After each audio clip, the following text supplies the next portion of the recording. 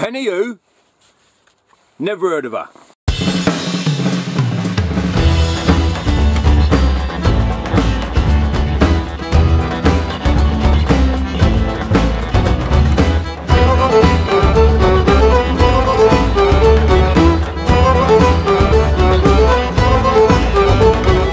Cool, dear me, it is a hot day today. Mmm. Now this plant I've got here is called Penny Royal. Penny Royal, you again. Look, I'm doing a video now. Can we um have a little chat later, please? Thank you very much.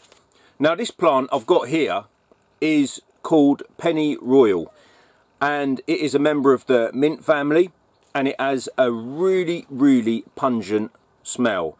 Um, I personally think this is one of the most pungent plants I've ever ever smelled. I mean, it's very, very similar to spearmint. I'll tell you a little story about this plant. I was actually travelling down through Macedonia, through Greece. Um, my wife planned a little trip for us, quite a big trip actually, um, and we went down through mainland Greece and we ended up in Athens. And in Athens, there was a market and what I found there was a little Cretan stall and the ladies there had a stall called Herbal Crete. Now I know from reading quite a few books that the Cretans are very very good with wild herbs and that comes to down to medicinal herbs to wild herbs for cooking a real survivalist diet have the Cretans, and this one really stood out to me. A lady there informed me that this was what they use for colds, fevers and things like that and um, I bought a small jar of it of the tea basically and I put it in the I kept I took it home with me and I said to my wife I said I wonder if I can um, harvest any seeds from this. Um, so I looked at the very very bottom. I was sort of held it at an angle and was shaking it and I noticed there was a few little black bits. I thought maybe just maybe if I put that in a soil seed bed I could sow it. And out of that whole pack of tea I managed to germinate just one of them. And out of that I managed to now get quite a few of them going and they have a very very weeping habit and what you can do is just bend these down put them in the soil and they will root so I've now got four massive clumps of this stuff and I've got to say it is a very very powerful powerful herb and it's it's not one to be taken lightly either um, some people have actually died from taking too much of this stuff. Um, I couldn't believe it. When I started reading up on it, I thought, how have I not heard of this herb, you know? Now, obviously the one that I've got might be a variation that likes... I mean, Crete's a hot country, you know, but it does grow up in the mountains. But I've had some success here. Um, I, I, I noticed it doesn't like to dry out, but it's been growing very successfully. And if you're into herbal remedies and things like that, I would certainly give this a go. One thing I would point out about this plant, which I've noticed is, it does, it really does do what it says on the tin. If you dry this out or you have it fresh and you knock this up in a tea, it's very powerful at breaking through mucus. And I've actually tested this and it's very effective. Not to be taken too lightly, but you're not going to have a problem with this if you... I mean, the Romans and the Greeks, this has been cultivated since them times, and they would use it in cooking. I would just recommend use it for tea. Um, just by eating a few leaves, you're not you're not going to do yourself any damage, but it does have an effect on the body.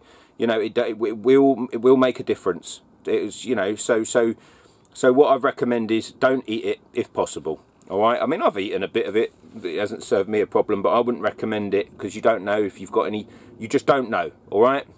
But certainly a cup of tea with this stuff is fine now one of the most popular uses of this plant and again I found it very very very useful is you can blend it up or you can mix it up, dry it, and use it for pest control.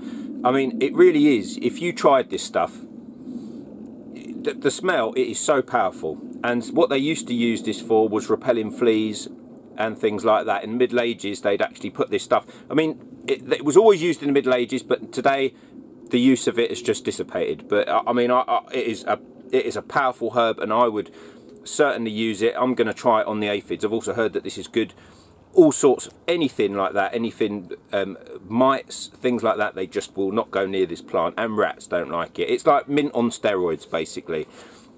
Um, so it's definitely one, if you're into that sort of stuff, using natural plants for so if you you know you want to replace chemicals in terms of repelling insects and things like this this is the one. One of the biggest ones for it as well was mosquitoes. As a plant it's actually called mosquito plant as well in the middle ages because this is good for ridding the area of mosquitoes. So if you've got a patio or an outside area um, a couple of pots with this you know can really help the situation. Um, dried hung up things like that or um, just literally bunging a little bit on a on a smoker or on your on your barbecue or something like that. It's really just to get some fumes, you know, just to get the aroma in the air. So really how they would use it for pest control, things like that. They also used to sort of smash it up and rub it all over their body. Um, I'm not going to demonstrate that for you today. I think that would be a little bit inappropriate. Um, they also say that this was actually used as an abortive um, for for ladies early on in pregnancy, and it they do actually say do not, if you're pregnant, do not use this plant at all because it, it, it does have abortive qualities. So it's, you know, it's not one to be messed with. And I'll tell you something, it, you know, you'll be amazed just just at the smell of this. I know I keep talking about it, but honestly, you. Do, I mean, look, just just have a little sniff. Look, see what I mean? Oh, blow your head off. Yeah, and on that note as well, children should not take this. So, I mean, I don't know very many herbs that have this many health warnings. I quite kind of like it. It almost feels like um, living a bit dangerously, living a bit dangerous on the edge, should we say. You know, I wouldn't drink the tea every day, but I certainly, the Cretans certainly hasn't done them no, no harm, certainly hasn't done me any harm. They say don't drink it every day. I probably drank it every day for four days while I had an illness, and um, it really did help, especially if you get that really sticky mucus in your throat and you just can't get rid of it. This one, you know, you boil up the water and you just breathe in them, and I tell you, it just, it, it not, it's like Vicks, basically. It's, it's brilliant, brilliant stuff. Brilliant, I think it's just a brilliant herb to have around the garden. And another thing with this herb, it, it will spread, but it's not as aggressive as mint. So, you know, it, it, it's not something you're going to put, you're going to worry about putting in the ground particularly. Um, and it's a novelty if you want to, you know, if you've got stepping stones, you plant it around the stepping stones, the, the smell you're going to get from it, it's quite remarkable. You know, it's like lemon balm, but more of a spearmint flavour smell. Um, typically, coughs, migraines, fevers. They're the three, main three that you want to use for this. Um, it's really, really simple to propagate, as I say. Um, what I'd be tempted to do with this one, if you look, is just now chop this into maybe five, six plants and repot them that's something you can do. What I do is I just bend the stems over. They very soon, very quickly develop roots and you can, I mean this plant, I could turn this into about 10 plants. So it's the same sort of thing as oregano, but because it has that weeping habit, it's really, really easy to, to develop one plant into many, many clones. And I've got to say, when this stuff flowers, it um, has quite delicate little round mint-like flowers. Um, it's really, really good for bees and beneficial insects. You'll be looking at the flowers and you'll be thinking, there'll be little, little solitary bees and things you've never seen before. So that's always a really good sign as well. So there you have it. Pennyroyal. Bit of an unusual. Very, very strong smell. Lots of benefits having it in the garden. And if you're unwell, it's a must-have. Don't take too much of it. You'll be showing your friends and showing off with it. Great, great plant. Get out there and grow some. All right?